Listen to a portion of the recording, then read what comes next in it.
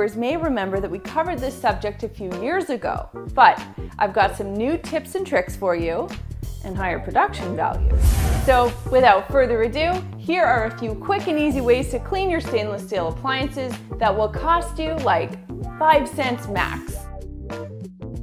For general polishing, you'd be surprised how effective something as simple as water can be when it comes to cleaning stainless steel, especially when you have yourself a good microfiber cloth or two in your cleaning arsenal. All you have to do is fill a spray bottle with some tap water and spray your appliance down. Following that, take your microfiber cloth and work your way from the top to the bottom, working in my very favorite S pattern, and always wipe with the grain of the steel. That way you won't scratch it. Then flip your cloth over and give a final dry buff. This is what's going to get you that consistent sheen. Simple water should get off most of the marks from your appliances, but if you need something with a little bit more muscle, you can use vinegar. Now we talk about vinegar a lot around here, so it's no surprise A, that I have a giant five liter container, and B, that when you need a little bit of extra cleaning power, this is the stuff you can call on. You just use vinegar like we use the water, but this time we're using a one part water and one part vinegar solution in the spray bottle. We'll spray it on the surface, we'll wipe it down from top to bottom using that S pattern again, working with the grain, and the best part about making this vinegar mixture is that you can keep it in the fridge and that way you can also clean up spills as they happen inside your refrigerator. How cool and simple is that? Now some of you might be looking for the best way to shine your stainless steel and for this, I recommend my personal favorite, rubbing alcohol rubbing alcohol or surgical spirits, or for those of you that can't find either, even cheap vodka, works wonders on stainless steel appliances because it dries super fast and leaves a streak-free finish, not to mention it disinfects the surface. The mixture I'm using is one part rubbing alcohol and one part water, and I'm applying, wiping, and buffing as I did with the vinegar and the water.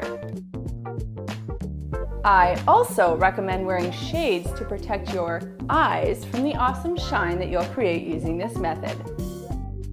And finally, for really grimy globs on your stainless steel appliances, why not try dish soap? We featured dish soap in a video not too long ago where it did a fantastic job on a host of surfaces. And you'll be happy to know it also works wonders on stainless steel. Just spray a mixture of water and a few squirts of dish soap onto the appliance, same thing as we've already talked about. And believe it or not, you're gonna work from the top to the bottom of your appliance, working with the grain for best results. Another stainless steel cleaner worth mentioning is Barkeeper's Friend.